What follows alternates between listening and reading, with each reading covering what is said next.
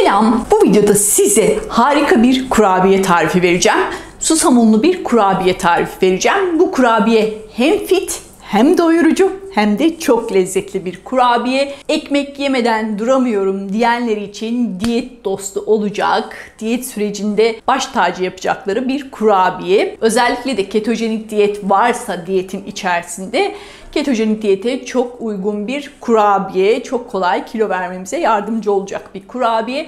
Çünkü susam unundan yapıyoruz. Tamamen hatırlarsanız 15 günde 5 kilo verdiren süper bir diyet uygulamıştık. O diyetin ayrıntılarına şu videodan ulaşabilirsiniz. E, gerçekten de bu diyeti uygulayanlar 15 günde 5 kilo verdiler. Hatta daha fazlasını da verdiler. 6 kilo verenler de oldu. Ama hiç aç kalmadılar. Herhangi bir şekilde sorun yaşamadılar. İşte o diyet esnasında bu kurabiyeyi rahatlıkla kullanabiliriz. Çünkü o diyette ketojenik diyet, aralıklı oruç ve alkali beslenmeyi birleştirmiş iyi yönlerinden süper bir diyet oluşturmuştuk. İşte o süper diyet esnasında gönül rahatlığıyla yiyebileceğimiz bir kurabiye bu. Hadi gelin malzemelerine bakalım. 5 çay bardağı susam unu. Çay bardağının büyüklüğü bu. Ayda bardağı dediğimiz bardaklarla 5 çay bardağı. Susam ununu ben çiğ susamdan yapıyorum. Çiğ susamı da marketten ya da aktardan alıyorum. Size de çiğ susamdan yapmanızı tavsiye ederim. Satışta çok kolay bulunabilen bir un değil. Onun için susam alıp evde rondoda öğütmek en pratik olanı. 2 yumurta kullanacağım ama yumurtalardan bir tanesinin akını yüzüne süreceğim için böyle tabağa ayırdım. Kalan da burada içine katacağım. Yine yarım çay bardağı soğuk sıkım zeytinyağı, yarım çay bardağı elma sirkesi kullanıyorum. Elma sirkesinin içine bir çay kaşığı karbonatı katacağım ve onun e, köpürmesini sağlayacağım. Bir çay kaşığı da deniz tuzu, kaya tuzlu olabilir.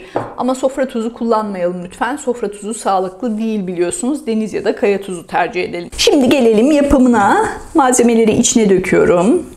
Karbonatı elma sirkesinin içine koyup kabartacağım. Gördünüz mü etkisini? Hemen döküyorum.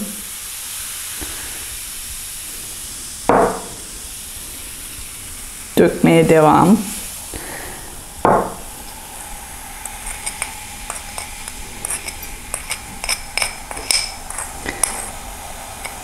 Hatta deniz tuzunu da döküyorum.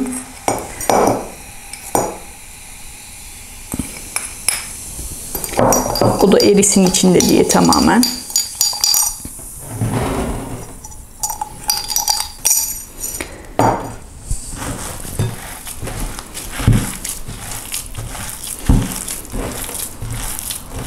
Gördüğünüz gibi bu kadar sıvı yeterli oluyor. Çünkü susam unu yeterince yağlı bir un olduğu için zaten ekstra bir şeye ihtiyacımız yok fazlasıyla. Bağlayıcı olarak da yumurtayı kullanıyoruz.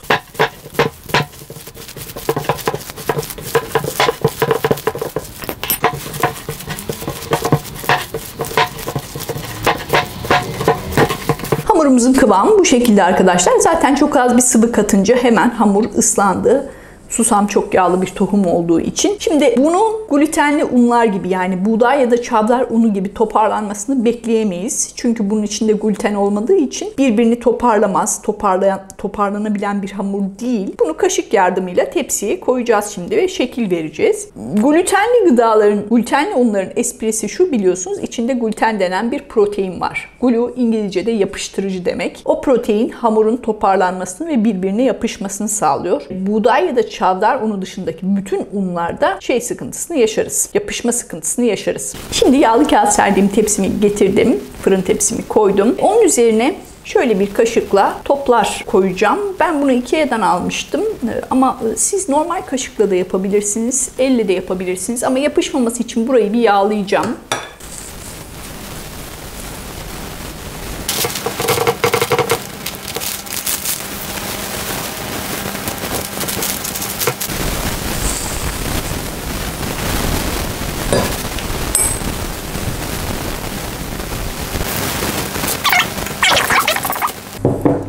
Kurabiyelerimiz hazır. Şimdi üzerine yumurtanın akından süreceğim ve biraz da çörek otu serpeceğim. Gördüğünüz gibi 5 çay bardağı ayda bardaktan 20 tane kurabiye çıkıyor. Ölçü olarak artırıp eksiltebilirsiniz ama oranlı olarak artırıp eksiltin lütfen. Bunları bir kavanoza koyup bir hafta boyunca tüketebilirsiniz. Yalnız kahvaltıda tüketmeye özen gösterin lütfen. Çünkü bu tür susam unu da olsa, sağlıklı unlardan yapılıyor da olsa karbonhidratlı gıdaları sabah kahvaltılarında ya da öğle öğünlerinde tüketiyoruz. Akşam tüketmiyoruz. Çünkü akşam bel bölgesine yağ olarak bize geri döner. Göbek ve bel yağları olarak geri döner. Onun için sabah kahvaltıda böyle nefis nefis tüketebilirsiniz. Ya da öğlen acıkıyorsanız mesela öğlen bir iki tane bundan atıştırabilirsiniz. Benim yeğenlerim bu çörek otuna bayılıyorlar. Onun için onlara yaptığım için çörek otlu yapıyorum. Siz üzerine susam da koyabilirsiniz ama susam susam biraz fazla olabilir diye ben böyle birkaç tane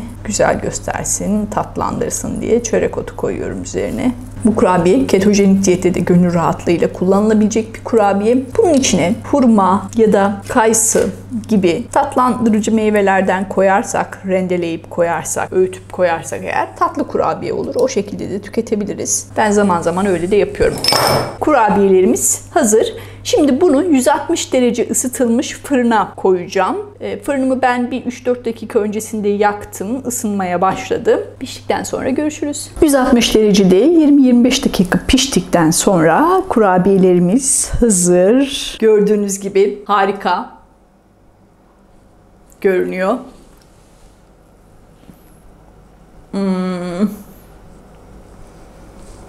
Nefis bir kurabiye, çıtır çıtır, muhteşem bir lezzet olmuş. Susam zaten benim çok sevdiğim bir şey.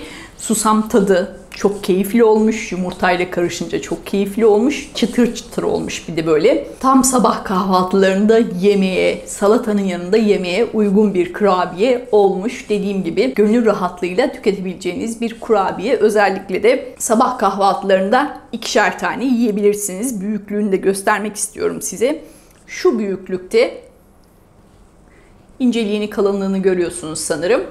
Bu büyüklükte sabah kahvaltılarında 2 adet yiyebilirsiniz gönül rahatlığıyla. Herhangi bir sorun yaratmayacaktır. Şimdi bu kurabiyeyi biz bir kavanoza koyup bir hafta kadar dolapta saklı tutabiliriz. Dolayısıyla pazar günleri hafta sonu müsait olduğunuz bir zamanda yapması çok pratik yarım saatinizi almıyor gördüğünüz gibi. Fırında da 20 dakikada pişiyor neticede. Toplamda 30 dakikada yapabileceğiniz ve bir hafta boyunca sabah kahvaltılarında tüketebileceğiniz bir kurabiye bu. Onun için lütfen üşenmeyin, başka ekmekler yemeyin. Bu kurabiye hem karnınızı doyuracak hem kilo aldırmayacak.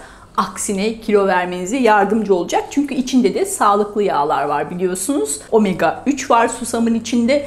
Onun için bu sağlıklı yağlar bize yardımcı olacak. Tam ketojenik diyete, alkali beslenmeye uygun bir kurabiye ve tok tutan bir kurabiye. Diğer kurabiyeler gibi yani buğday unundan yapılan kurabiyeler gibi yedikçe yediren bir kurabiye değil. Aksine iki tane yediğiniz zaman doyduğunuzu hissedeceksiniz. Ben hatta normal zamanda bile Kahvaltılarda bir tane yiyorum. O bile bana fazla geliyor. Size iki tane bile yetecektir. Onun için lütfen bu kurabiyeyi yapın. Diyet esnasında yapın. Ben zaten bütün herkesi öneriyorum bu kurabiyeyi. Yalnız şöyle bir şey olabilir. Susam tadı size fazla yoğun gelebilir. Damak zevkiniz şekerli gıdalara alışıksa, glutenli gıdalara, buğday unlu kurabiyelere alışıksanız eğer susam unu size yoğun gelebilir. Çok böyle tahin acımtırak bir tadı vardır ya o rahatsız edici gelebilir size. O zaman ne yapacaksınız? İçine biraz badem unu katacaksınız. Yani 5 bardak susam unu demiştik ya, onun 2 bardağını ya da 3 bardağını badem unu yaparsanız o zaman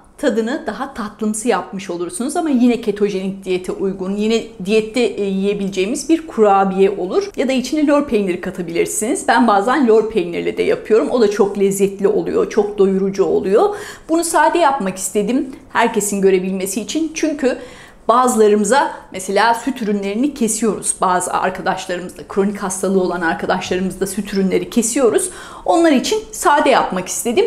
Ama dediğim gibi bu tarifi siz üzerine peynir koyarak da daha da zengin hale getirebilirsiniz. İçine ceviz koyabilirsiniz, içine kabak çekirdeği koyabilirsiniz, ayçiçeği çekirdeği koyabilirsiniz. İçine yine fındık öğütüp koyabilirsiniz, badem öğütüp koyabilirsiniz Hepsi çok güzel gider, çok yakışır, çok lezzetlendirir bu kurabiye ve hepsini de ketojenik diyette yine gönül rahatlığıyla tüketebiliriz. Kilo vermemize yardımcı olur. Şimdiden herkesin ellerine sağlık ve afiyet olsun. Sağlıkla kalın, fit kalın. Bu videoyu beğendiyseniz lütfen beğen butonuna basıp kanalıma abone olur musunuz? Sevdiklerinizle de paylaşmayı unutmayın. Bildirim zilini açarsanız bu tür tariflerden ilk önce siz haberdar olursunuz. Sevgiler, hoşçakalın.